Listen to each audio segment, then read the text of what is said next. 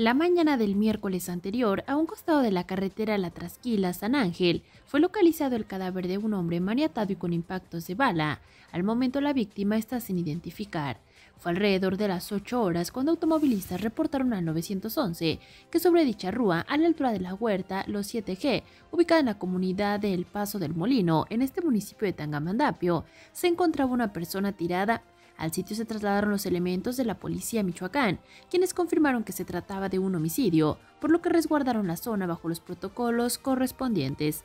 Elementos de la Unidad de Servicios Periciales y Escena del Crimen se encargaron de realizar las actuaciones de rigor.